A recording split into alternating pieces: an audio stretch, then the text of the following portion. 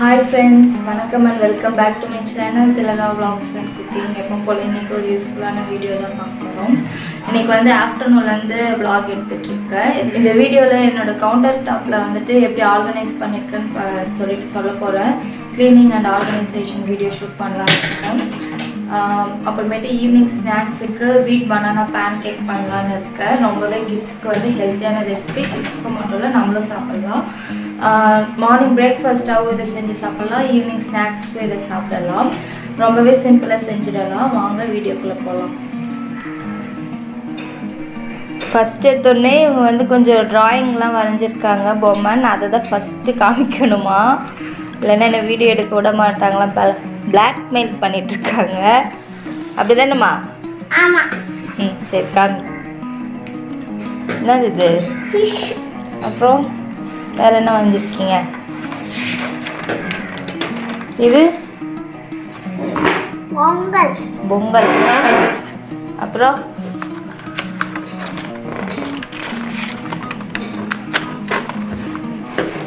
இதுவும் பொங்கல். இதுவும் பொங்கல்.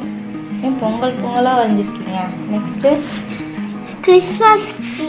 இது கலர் அடிக்கலையா? கிறிஸ்மஸ் ட்ரீக்கு இல்லை. சரி கலர் அடிச்சிட்டறியா ம் வேற நான் வச்சுக்கிறேன் இது இது இது என்னது பேர்ட்ஸ் வேர்ட்ஸு ம் சேலந்து கலர் இது இப்படி காமிச்சதே தெரியும் ஜூக்கி சுக்கி சோட்டா பீமில் வர சுக்கியை வரைஞ்சிருக்காங்க வரைஞ்சி அவங்கள அவங்களே மேலே ஏதோ நேம் எழுதியிருக்காங்க சுக்கி ம் நெக்ஸ்ட்டு இது பேபி என்ன பேபி நான். சரி சரி சரி. நெக்ஸ்ட்டு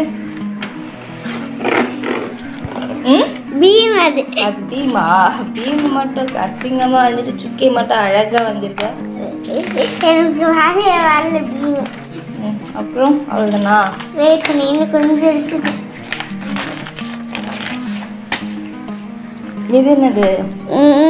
சரி என் தலையில் தூக்கி வச்சுக்கணும் விட்டுறது அவங்க டேடி இது அவங்க டேடி வந்து அவங்கள தலையில் தூக்கி வச்சிருக்கிறாங்களாம். இது என்ன வாயா? கரெக்டாக வாய் மட்டும் பெருசாக அப்புறம் இதுவும் பொங்கல் திருவிழா பொங்கல் திருவிழா இது. ம். இது? இது வந்து இண்டிபெண்டன்ஸ் டே அப்போது ஒரே ஒரு கொடி வரைஞ்சி காமிமான்னு சொன்னேன். அப்போ வந்து மலை மேலே கொடி ஏற்றணும்னு சொல்லிட்டு இப்படி இதை வரைஞ்சிருக்காங்க. அப்புறம்?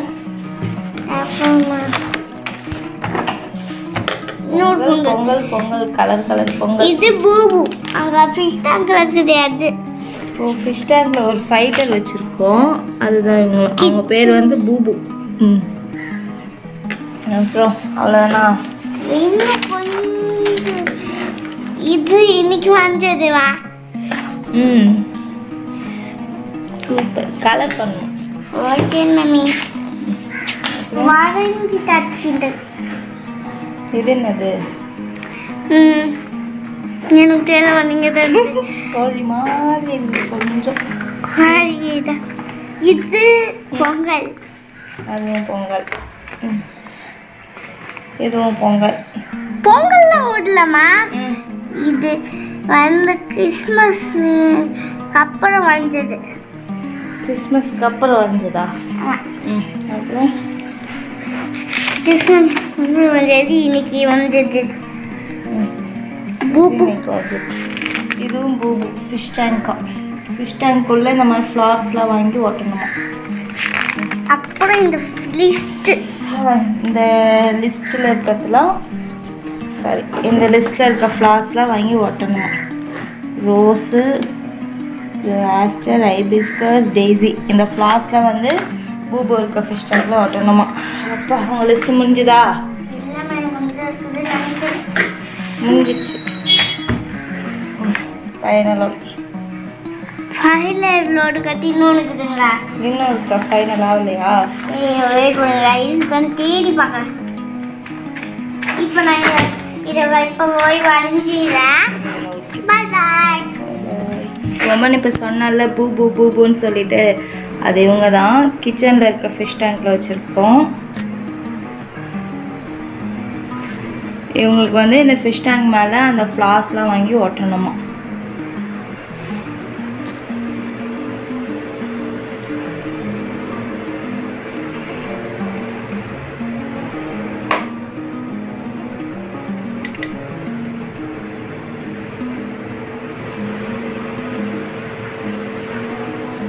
கவுண்டர் டாப் க்ளீன் பண்ண ஆரம்பிக்கிறதுக்கு முன்னாடி காஞ்ச மிளகாய் இந்த மந்த்லி பட்ஜெட்டில் வந்து வாங்கிட்டு வந்திருந்தேன். இதை அப்படியே வச்சேன்னா கண்டிப்பாக எனக்கு பூச்சி புழு எல்லாம் வந்துடும். நாங்கள் ரெண்டு பேருன்றதுனால ஒரு கால் கிலோவே எனக்கு த்ரீ மந்த் கிட்டே வரும். இந்த சட்னி தாளிக்க அந்த மாதிரி ஐட்டம்ஸ்க்கு மட்டும்தானே யூஸ் பண்ணுறோம் ஆனால் அதுக்குள்ளே வந்துட்டு கண்ணறி நீ தொடாத மோமன் உனக்கு தான் கண்ணறியும் கண்ணை நான் தொட மாட்டேன். ஸோ அதனால் வந்துட்டு காய வச்சு தான் எடுத்து வைப்பேன் அப்படியே காய வச்சு வச்சாலும் நமக்கு வந்து பூச்சி தான் வரும். அதனால் ஃபஸ்ட்டு வந்துட்டு இந்த காம்பெல்லாம் கிள்ளிட்டு நல்லா வெயில் அடிச்சிட்ருக்கு. வெயிலில் இதை வச்சு ஒரு ஒன் ஹவர் டூ ஹவர் நல்லா காய வச்சு டப்பாவில் ஸ்டோர் பண்ணிட்டோம்னா நமக்கு நல்ல பூச்சி இல்லாமல் இருக்கும். ஒரு த்ரீ மந்த் வரைக்கும் எனக்கு கெட்டு போகாது. இந்த மாதிரி காஞ்ச மிளகாய் ஸ்டோர் பண்ணி பாருங்கள் பூச்சி புழுலாம் எதுவுமே வராது. கண்டிப்பாக பொதுவாகவே இந்த காம்பை எடுத்துட்டால் மேக்ஸிமம் வராது. எனக்கு இன்னும் கொஞ்ச நாள் எக்ஸ்ட்ரா பூச்சிலாம் வராமல் இருக்கணும்னு நினச்சிங்கன்னா ஒரு ஒன் டே நல்லா வெயிலில் வச்சு எடுத்து வச்சிட்டிங்கன்னா பூச்சி புழுலாம் வராது. ஃபஸ்ட்டு இதை காம்பெல்லாம் நல்லா கிள்ளி எடுத்துக்கிறேன்.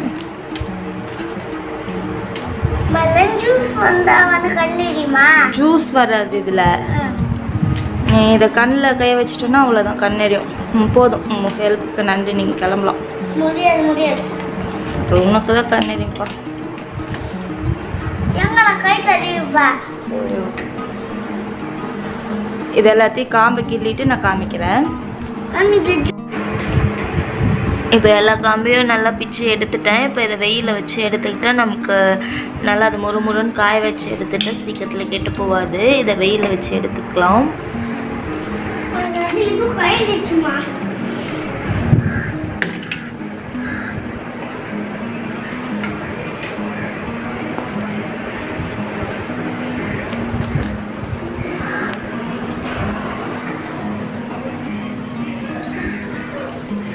இது பார்த்தீங்கன்னா கவுண்டர் டாப்பில் வந்து நான் இந்த மாதிரி தான் ஆயில் ஐட்டம்ஸ் அப்புறம் ஒரு சில மசாலா ஐட்டம்ஸ்லாம் ஸ்டோர் பண்ணி வச்சுருக்கேன். இது க்ளீன் பண்ணி கொஞ்சம் நாள் ஆச்சு கொஞ்சம் பார்த்தீங்கன்னா எண்ணெய் பிசுராக இருக்குது சரி கொஞ்சம் இன்றைக்கி ஃப்ரீ டைம் இருக்குது இதை இன்றைக்கி க்ளீன் பண்ணிடலாம். ப்ளஸ் அப்படியே எப்படி நான் ஆர்கனைஸ் பண்ணியிருக்கேன்னு உங்க கூட ஷேர் பண்ணலான்னு சொல்லிட்டு போட்டிருக்கேன். எனக்கு பார்த்தீங்கன்னா அடுப்பு வந்து இந்த அளவு வந்துடும். இங்கே வந் இங்கேயும் சிங்க்கு பக்கத்தில் இங்கேருந்து இங்கேயும் வந்து கேப் இருக்கும். அதுக்கு இடையில வந்துட்டு இந்த அளவுக்கு ஸ்பேஸ் இந்த அளவு ஸ்பேஸ் வந்து எனக்கு ஃப்ரீயாக இருக்குது அந்த இடத்துல தான் நான் ஒரு சில திங்ஸ்லாம் ஆர்கனைஸ் பண்ணி வச்சுருக்கேன். அதை எப்படி நான் ஆர்கனைஸ் பண்ணியிருக்கேன்னு சொல்லிட்டு பார்க்கலாம். ஃபஸ்ட்டு இதில் எல்லாத்தையும் எட்டை எடுத்துட்டு கீழே துடைக்க போகிறேன் அங்கே கண்டிப்பாக டஸ்ட்டு சேர்ந்துருக்கும். ஃபஸ்ட்டு இது எல்லாத்தையும் எட்டை எடுத்து வச்சிட போகிறேன் நம்ம இதை அடுப்பு பக்கத்துலேயே வச்சுருக்கிறதுனால இங்கெல்லாம் எண்ணெய் பட்டு பட்டு எண்ணெய் பிசுராக இருக்கும். இதை ஒரு டென் டேஸ் ஒன்ஸ் இல்லை ஃபிஃப்டீன் டேஸ் ஒன்ஸ் வந்து நம்ம தொடச்சி மெயின்டைன் பண்ணிக்கலாம்.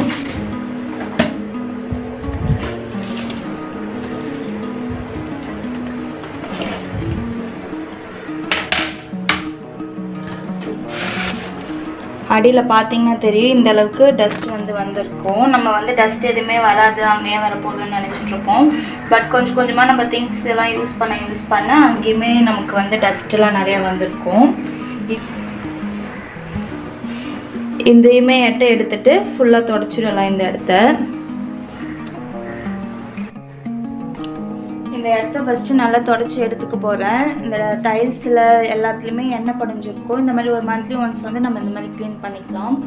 அதுக்கு வந்துட்டு நான் இதில் என்ன மிக்ஸ் பண்ணியிருக்கேன் ஏதாவது ஒரு டிஷ் வாஷ் லிக்யூட் வந்து ஆட் பண்ணிக்கலாம். நான் இன்றைக்கி விம் லிக்விட் ஆட் பண்ணியிருக்கேன் ப்ளஸ்ஸு பேக்கிங் சோடா ஒரு டீஸ்பூனு வினிகர் ஒரு ரெண்டு மூடி அளவுக்கு ஆட் பண்ணியிருக்கேன் இப்போ இதை வச்சு தான் இதை துடைக்க போகிறேன் எண்ணெய் பிசுறெல்லாம் சீக்கிரமாகவே போயிடும். இல்லை டைல்ஸ் கிளீனர் ஏதாவது இருந்தால் அதை கூட யூஸ் பண்ணி நம்ம வச்சு எடுத்துக்கலாம். கையோட இந்த இடத்தையும் க்ளீன் பண்ணிட்டோம்னா நமக்கு க்ளீனாக இருக்கும். டெய்லி துடைக்கும் போது இங்கே மட்டும் அடுப்பு கிட்ட மட்டும் தொடச்சிடுவேன் எனக்கு இந்த இடம் எட்டாது. ப்ளஸ் திங்ஸ்லாம் வச்சுருக்கிறதுனால நம்ம துடைக்க முடியாது. ஸோ இப்படி க்ளீன் பண்ணுற சமயத்தில் மற்ற ஒரு சில க்ளீன் பண்ணிட்டு இருக்கோம்.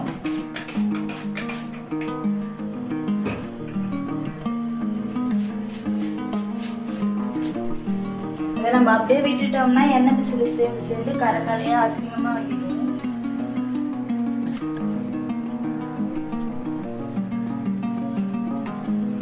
வயிறு இருக்கிறதுனால இந்த தடவை என்னால் ஃபுல்லாக எக்கே க்ளீன் பண்ண முடியல. என்னால் முடிஞ்ச அளவுக்கு க்ளீன் பண்ணி எடுத்துக்கிட்டேன்.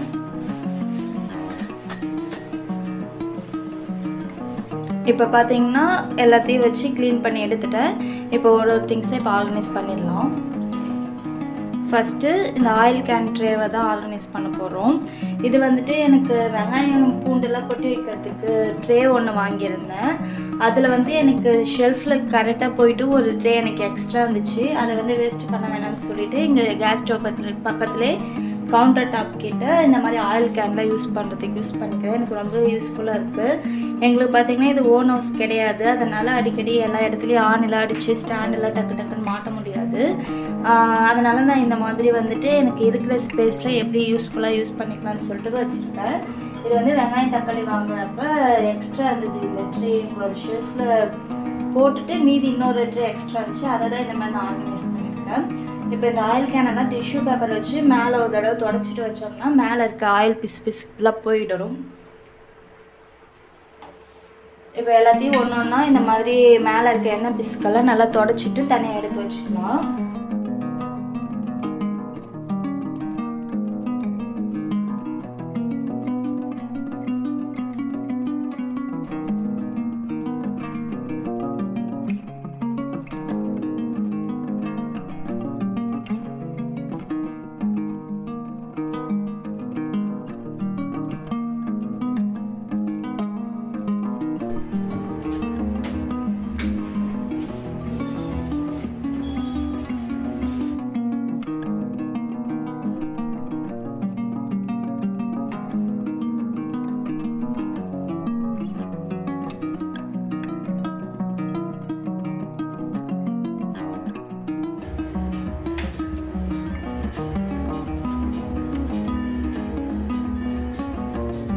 பார்த்தீங்கன்னா இருந்த ஆயில் கேன் எல்லாத்தையுமே எடுத்துட்டேன். இந்த ட்ரேயும் ஒன்ஸ் அப்படியே தொடச்சி எடுத்துக்கலாம்.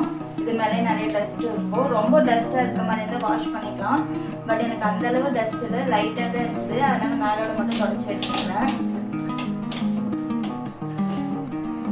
நீங்கள் இதுக்கே கூட அந்த லிக்விட் யூஸ் பண்ணி தொடச்சி எடுத்துக்கலாம். பட் எனக்கு அந்த அளவுக்கு அழுக்கு இல்லாதனால அதே டிஷ்யூ பேப்பர் வச்சு அப்படியே தொடச்சி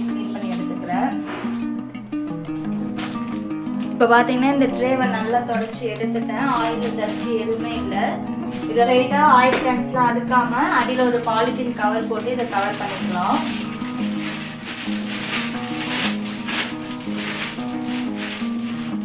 ஒரு திக்கான பாலித்தீன் கவர் போட்டுட்டேன். அதுக்கு மேலே ஏதாவது பேப்பர் போட்டு இதை கவர் பண்ணிக்கலாம்.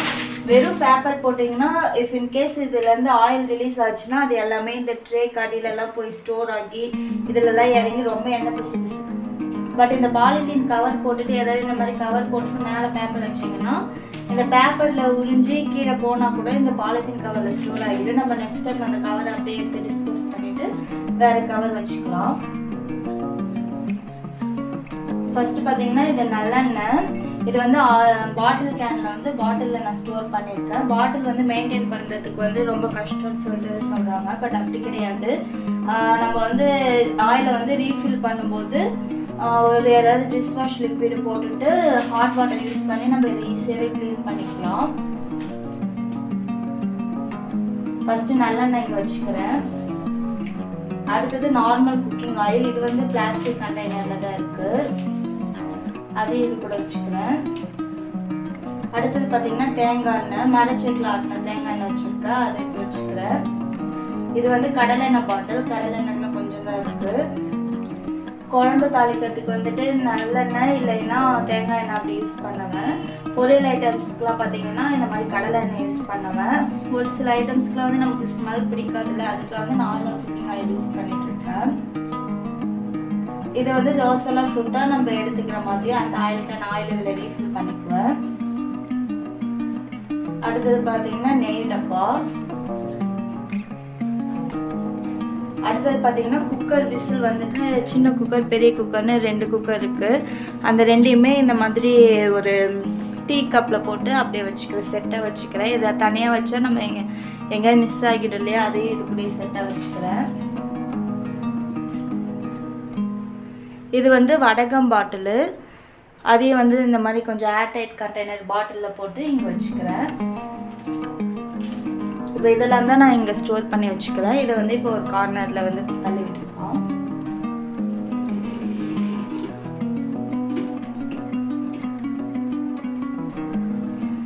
அவ்வளோதான் இங்கே இப்படி தான் வச்சுருக்கேன். இதுக்கு அடியில் பார்த்தீங்கன்னா இந்த அளவு எனக்கு ஸ்பேஸ் இருந்துச்சு. அதனால் என்ன பண்ணேன்னு பார்த்தீங்கன்னா இந்த மாதிரி ஒரு ட்ரே வச்சுக்கிட்டு அதில் நம்ம யூஸ் பண்ணுற மசாலா பவுடர் ஐட்டம்ஸ்லாம் இதில் ஸ்டோர் பண்ணி வச்சுருக்கேன். இப்போ இதையுமே எல்லாத்தையும் எடுத்து மேலே டப்பாவில் கொஞ்சம் லைட்டாக தொடச்சிட்டு இதை க்ளீன் பண்ணிட்டு காமிக்கிறேன். டப்பாவில் பார்த்தீங்கன்னா ரீஃபில் பண்ணும்போது க்ளீன் பண்ணி க்ளீன் பண்ணி தான் வைப்பேன். இதில் மேக்ஸிமம் அழுக்கெலாம் இருக்காது. மேலே மட்டும் சொன்ன மாதிரி அந்த எண்ணெய் படிஞ்சு அந்த அழுக்கெலாம் இருக்கும். அதுவுமே சும்மா இந்த மாதிரி ஃபிஃப்டீன் டேஸ் ஒன்ஸ் க்ளீன் பண்ணி வச்சுக்கலாம்.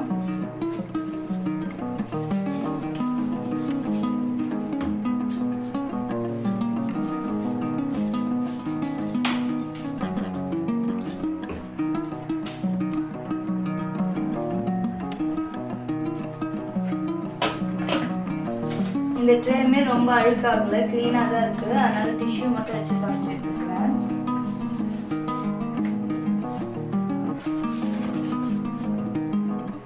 இப்போ பார்த்தீங்கன்னா இந்த ட்ரேலையும் நான் நல்லா தொடச்சிட்டேன். இப்போ இந்த ட்ரேல வந்துட்டு மேஜராக நம்ம குழம்புக்கு யூஸ் பண்ணுற மசாலா பவுடர் ஐட்டம்ஸ் மட்டும் நான் இதில் வச்சுருக்கேன். அடுப்பு பக்கத்தில் இருந்தது நமக்கு ஈஸியாக இருக்கும். எனக்கு இங்கே ஸ்பேஸ் இருக்கிறதுனால அதை வச்சுருக்கேன். நார்மல் சாம்பார் குழம்பு மிளகாய் தூள் இருக்குல்ல அதை வச்சுக்கிறேன். அடுத்தது மஞ்சள் தூள். அடுத்தது சால்ட் உப்பு பக்கத்தில் வச்சுருக்கேன். அடுத்தது பெப்பர் பவுடர்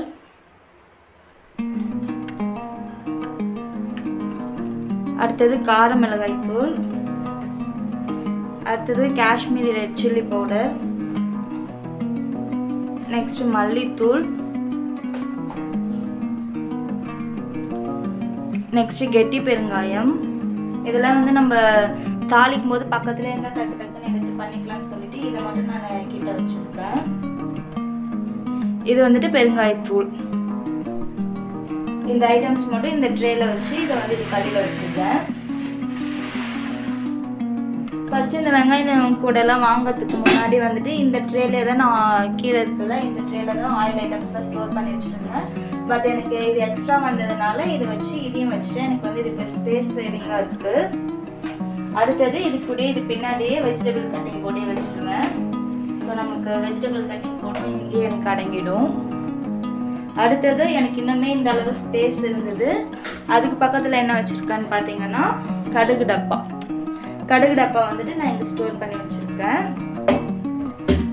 அதுமாரி லைட்டாக மேலோட தொடச்சிக்கிற ஆயில் பிஸ்கெட்ஸாக இருக்குது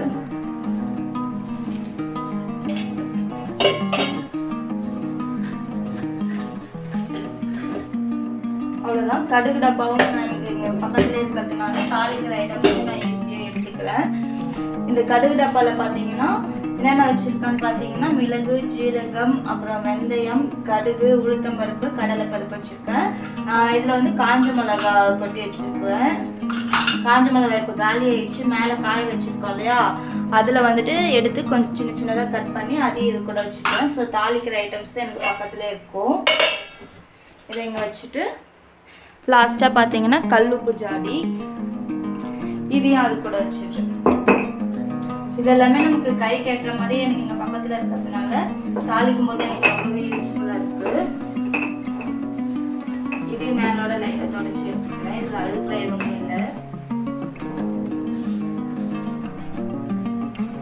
அவ்வளோதான் ஃபினிஷ் என்னோட கவுண்டர் டாப் பார்த்தீங்கன்னா நான் இந்த மாதிரி தான் அரேஞ்ச் பண்ணி வச்சுருக்கேன். ஐட்டம்ஸு எண்ணெய் அப்புறம் அது கூட தாளிக்கிற ஐட்டம்ஸு மசாலா ஐட்டம்ஸு அப்புறம் கல்லுப்பு. எல்லாத்தையும் நான் ஒரே இடத்துல இந்த மாதிரி தான் ஸ்டோர் பண்ணி வச்சுருக்கேன். எனக்கு இது ரொம்ப ஈஸியாக இருக்குது என்னோடய கவுண்டர் டாப்பில் பார்த்தீங்கன்னா நான் இப்படி தான் ஆர்கனைஸ் பண்ணி வச்சுருக்கேன். டாப் ஆர்கனைசேஷன் ஐடியாலேருந்து உங்களுக்கு ஏதாவது ஒரு ஐடியா கிடச்சிருக்கோன்னு நினைக்கிறேன்.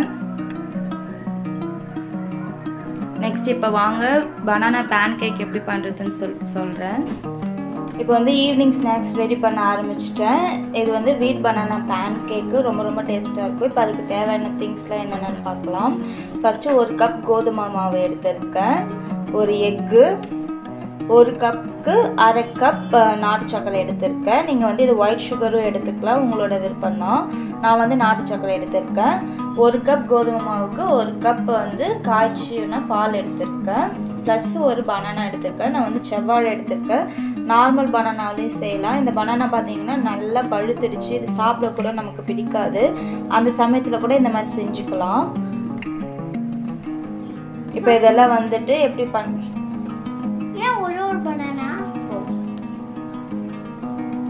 இப்போ இது எப்படி பண்ணுறதுன்னு பார்க்கலாம். இதுக்கு தேவையான இன்க்ரீடியன்ஸே இந்த ஃபைவ் இன்க்ரீடியன்ஸ் தான்.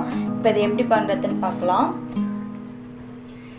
இதுக்கு வந்துட்டு ஃபஸ்ட்டு ஒரு மிக்ஸி ஜார் எடுத்துக்கோங்க. மிக்ஸி ஜாரில் கட் பண்ணி வச்சுருக்க பனானாவை ஆட் பண்ணிக்கிறேன்.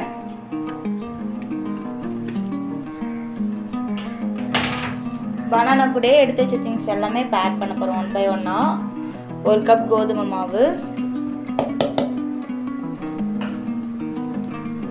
அரை கப் சர்க்கரை.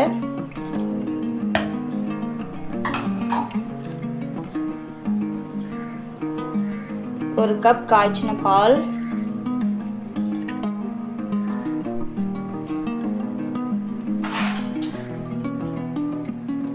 இது கூட ஒரு எக்கு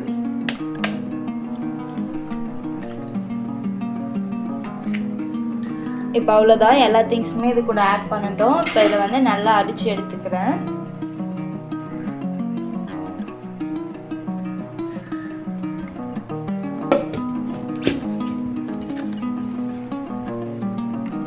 இப்போ பார்த்தீங்கன்னா இதை நல்லா அரைச்சி எடுத்துக்கிட்டேன். இது நல்லா க்ரீம் கன்சிஸ்டன்சிக்கு இந்த மாதிரி கிடைக்கும். நீங்கள் ஹேண்ட் பீட்டரில் கூட நல்லா பீட் பண்ணி எடுத்துக்கலாம். கையில் கூட பீட் பண்ணிக்கலாம். மிக்ஸி ஜாரில் போட்டிங்கன்னா இந்த மாதிரி நல்லா நமக்கு க்ரீம் கன்சிஸ்டன்சியில் கிடைக்கும். இப்போ இதை வச்சு கேக் பண்ணிடலாம். இப்போ வந்து அடுப்பில் ஒரு தோசை தவா வச்சுக்கிட்டேன். அதில் வந்து ஃபஸ்ட்டு கொஞ்சம் நெய் ஸ்ப்ரெட் பண்ணி விட்டுக்கலாம்.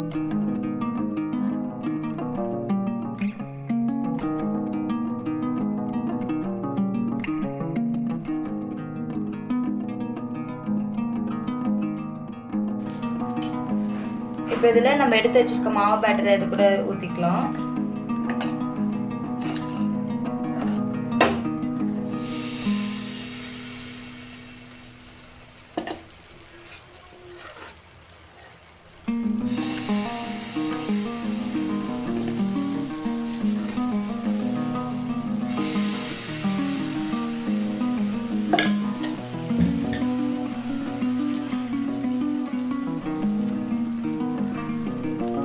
இப்போ நெய் ஸ்ப்ரெட் பண்ணி விட்டுக்கிறேன்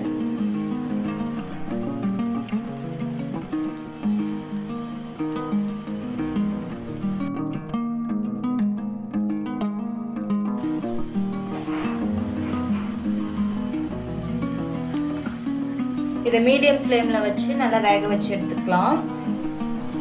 இதே நீங்கள் கல்லை ஊற்றி பணியாரம் ஷேப்பில் கூட பண்ணி கொடுக்கலாம். சேம் மெத்தடில் கல்லை வச்சுட்டு நெய் ஊற்றிட்டு இந்த மாவு கொஞ்சம் கொஞ்சமாக ஊற்றுனீங்கன்னா அதுவுமே சாஃப்டாக நல்லா வெந்து வரும். இதில் பார்த்தீங்கன்னா நம்ம போட்டிருக்க பொருள் எல்லாமே ஹெல்த்தியானது கிட்ஸ்க்கு வந்து பொதுவாகவே ஒரு நாளைக்கு ஒரு கப் மில்க்கு ஒரு ஒரு எக்கு ஒரு பனானா சாப்பிட்றது ரொம்ப ரொம்ப ஹெல்த்தியானது இந்த மூணுமே நம்ம இந்த ஒரே ஒரு டிஷ்ஷில் வந்து நம்ம பண்ணி கொடுத்துட்றோம். இது வந்து ஸ்வீட்டாக இருக்கிறதுனால நல்லா லைக் பண்ணி சாப்பிடுவாங்க. இந்த பனானா ஃப்ளேவரோட இந்த பேன் கேக் வந்துட்டு ரொம்ப ரொம்ப டேஸ்டியாக இருக்கும்.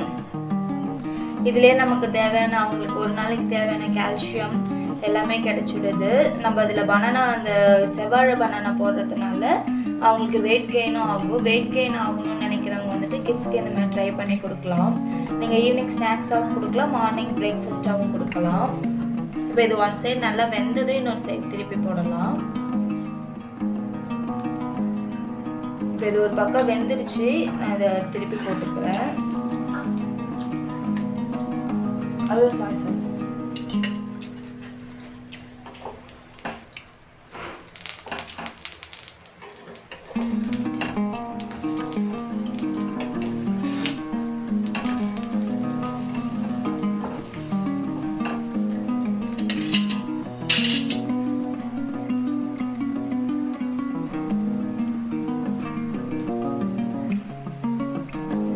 தேவைப்பட்டால் இந்த பக்கம் கூட கொஞ்சம் நெய் ஸ்ப்ரெட் பண்ணி விட்டுக்கோங்க.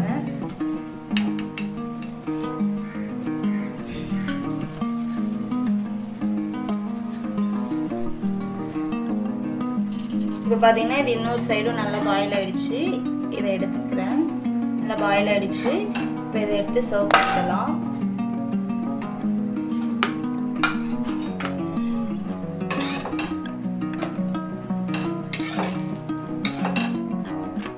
இந்த ரெசிபி பண்ணுறதுக்கு பார்த்தீங்கன்னா டோட்டலாகவே நமக்கு டென் டு ஃபிஃப்டீன் மினிட்ஸ் தான் ஆகும். பட் ரொம்ப ரொம்ப ஹெல்த்தியான ரெசிபி ஈவினிங் கிட்ஸு ஸ்கூல் விட்டு வரும்போது வரும்போதே ஸ்நாக்ஸு ஸ்நாக்ஸ்னு சொல்லிட்டு தான் வருவாங்க.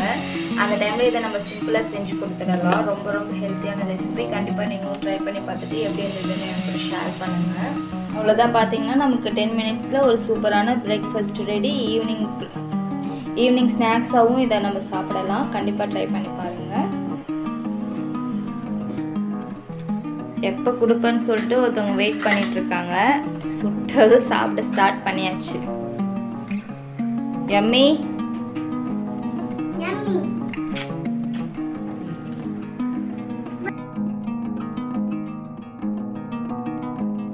சாப்பிட்டாச்சு. இப்போ பார்த்தீங்கன்னா காஞ்ச மிளகாவும் நல்லா காஞ்சிடுச்சு. எடுத்துகிட்டு வந்துட்டேன். இப்போ இதை வந்துட்டு பிளாஸ்டிக் பாக்ஸில் போய் ஸ்டோர் போட்டு ஸ்டோர் பண்ணி வச்சுக்குவேன். ரொம்ப வந்துட்டு பனி இறங்குற அளவுக்கு விட வேணாம்னு சொல்லிட்டு சீக்கிரமாக அந்த சூட்டோடயே எடுத்துட்டேன். கடுகு டப்பா இருக்குதுல்ல அதுலேயும் கொஞ்சம் வந்துட்டு நான் இப்போயே இந்த மாதிரி கொஞ்சம் கொஞ்சமாக சின்ன சின்னதாக கட் பண்ணி வச்சுக்குவேன். இது வந்து நம்ம தாளிக்கும் போது டக்குன்னு எடுத்து போட்ட தாளிக்க ஈஸியாக இருக்கும். இது கூட நீங்கள் ட்ரை பண்ணி பார்க்கலாம். இதில் கொஞ்சம் கட் பண்ணி போட்டுட்டு இது முழுசாக போட்டோம்னா ஒரு நாலஞ்சு அந்த மாதிரி தான் போட முடியும். இந்த மாதிரி கட் பண்ணி போட்டால் நமக்கு மார்னிங் டைமில் டக்கு டக்குன்னு சமைக்கிறதுக்கும் ஈஸியாக இருக்கும். ஸ்பேஸ் சேவிங்காகவும் இருக்கும். இந்த மாதிரி காய வச்சுட்டு நம்ம எடுத்து வைக்கிறதுனால கொஞ்சம் எக்ஸ்ட்ரா டேஸ் வந்து அது புழு பூச்சிலாம் இல்லாமல் நமக்கு ரொம்ப நாள் வரும். இந்த மாதிரி கட் பண்ணி போடுறதுனால மார்னிங் டைமில் நமக்கு பிஸியாக டக்கு டக்குன்னு தாளிக்கிற டைமில் தாளிக்கிற கிண்ணத்துலேயே இருக்கும்போது நம்ம எடுத்து போட்டு தாளிச்சுக்கலாம். அவ்வளோதான் இதை கடுகு டப்பாவில் அப்படியே வச்சுக்குவேன். மீதியை வந்து இன்னொரு பிளாஸ்டிக் டப்பாவில் போட்டு ஸ்டோர் பண்ணி வச்சுக்குவேன். சட்னி அந்த மாதிரிலாம் அரைக்கும் போது நம்ம அதை எடுத்து போட்டு யூஸ் பண்ணிக்கலாம். Okay friends that's it from me today இந்த வீடியோ கண்டிப்பாக உங்களுக்கு யூஸ்ஃபுல்லாக இருந்திருக்கும்னு நினைக்கிறேன். பிடிச்சிருந்தா லைக் பண்ணுங்கள் இனிமேல் நம்ம சேனலை சப்ஸ்கிரைப் பண்ணாமல் பார்த்துட்டு இருந்தீங்கன்னா இப்போ சப்ஸ்கிரைப் பண்ணிடுங்க. பக்கத்தில் இருக்க பெல் ஐக்கானை கிளிக் பண்ணி ஆல் என்ற ஆப்ஷனையும் செலக்ட் பண்ணிக்கோங்க. அப்போ தான் நான் போடுற யூஸ்ஃபுல்லான வீடியோஸ் உங்களுக்கு உடனுக்குடனே வந்து சேரும். தேங்க்ஸ் ஃபார் வாட்சிங்